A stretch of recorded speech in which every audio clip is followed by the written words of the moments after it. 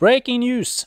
Tesla blacklisted in Sweden. Breaking news today Tesla was put on a blacklist by the National Board for Consumer Disputes, ARN, in Sweden. The National Board for Consumer Disputes, ARN, is a public authority that functions roughly like a court. Their main task is to impartially try disputes between consumers and business operators. Claims are filled by the consumer. In the Nordic countries, Norway is clearly number one when it comes to sale of electric cars. In Norway, almost 9 out of 10 new sold cars are an electric car. Norway has, many, has in many years offered tax subsidies to everyone that buys a new electric car. Sweden is catching up with Norway, and in July, 13.4% of all new sold cars in Sweden was fully electric. In Sweden, they are selling even more plug-in hybrid cars. The market share for plug-in hybrid cars is almost 36%. Sweden offers many great incentives for electric vehicle buyers. With an EV market share of 50% and a growth of 200% from 2020 to 2021, Sweden is making great strides in electric transformation. The growing popularity of EVs is due to increased incentives, namely national grants, tax subsidies, and local incentives.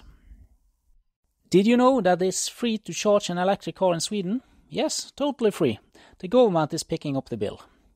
Another amazing fact is that IKEA will install 700 more charging stations at their stores, bringing the total number up to 1,000. The reason? They would like their customer to drive to IKEA to shop while their electric car is charging. Back to the top story. Tesla is being blacklisted in Sweden. Tesla is, is, a popular car for electric car buyers in Sweden. A Tesla customer wanted to cancel his purchase for a Tesla Model 3. The price for the Model 3 was 68,000 US dollar. The buyer discovered that the jacking points under the car were broken, the metal was cracked and bent.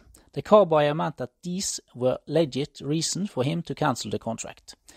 Tesla didn't agree. They claim that there was not a construction defect, but a cosmetic defect, which affects neither function nor safety.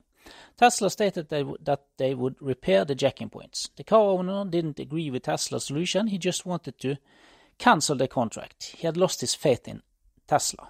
This ended up in a legal dispute, and, and in Sweden, consumers can bring these cases into the National Board for Consumer Disputes, ARN. ARN submits recommendations on how disputes should be resolved. They can recommend repairs, price reductions, or that customers are allowed to cancel contracts.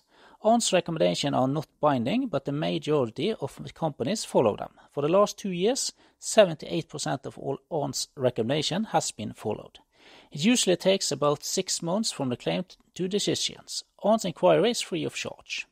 In this case, Tesla wouldn't follow ARN's recommendations, therefore ARN put them on the blacklist, warning consumers to buy cars from them in Sweden. Tesla is now one out of 227 businesses on that list. This case will soon end up in the Swedish courtrooms. What could this mean? Will Sweden consumers stop to buy Tesla? In July, Tesla Model Y was just beaten by Volkswagen ID4 when it comes to sale in Sweden. That was all for now. Tesla is, by the, by the way, performing really good when it comes to sales in 2022. Check out our vid video about that topic, Tesla's insane sales. That was all for now. Thanks for watching. We hope to see you soon. soon.